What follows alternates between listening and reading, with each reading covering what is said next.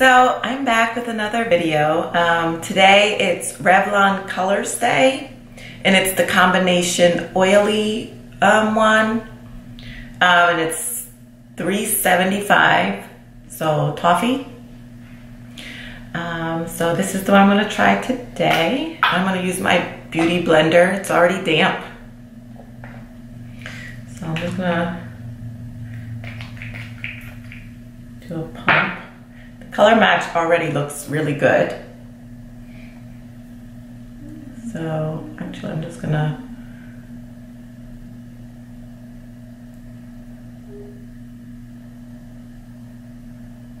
I'm gonna try to go kind of light uh, with this one. So I'll just try to do one pump. See if I can. And I'm gonna use my beauty blender to just blend it in.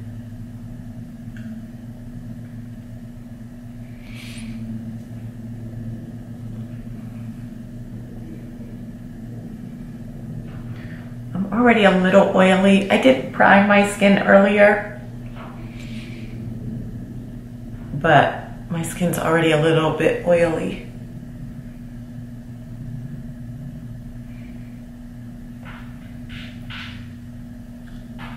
And I previously did a video on a Revlon, it was like a BB cream that I really liked. So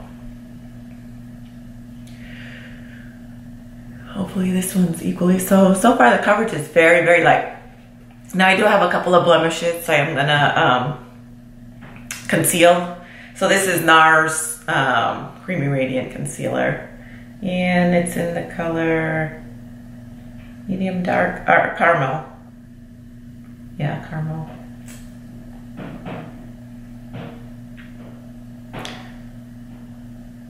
So I'm not a big concealer. I don't necessarily use concealer to highlight. I just use it to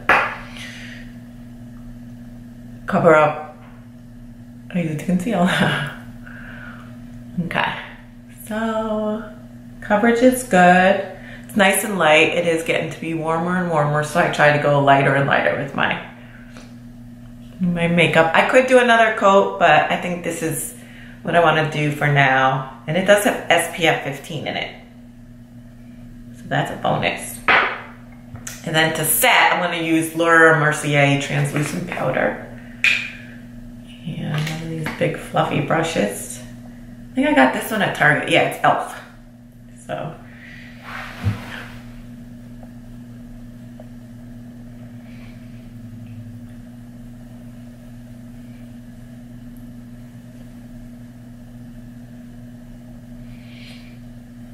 just to set everything. I do have lipstick on, so I'm trying not to get it on my brush. Okay. And then I am going to, because I find with the translucent powder, with it being so, um, it has like, it tends to just leave a cast. I am going to take my MAC. This is NC55 which to me is lighter than the NC47, and I'm not really sure why, but I'm just gonna use this one and just kind of go around. Just kind of go around the outside of my face to just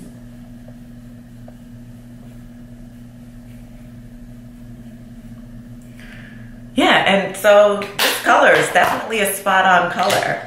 Spot on color match for me no complaints with this one and the coverage is super light.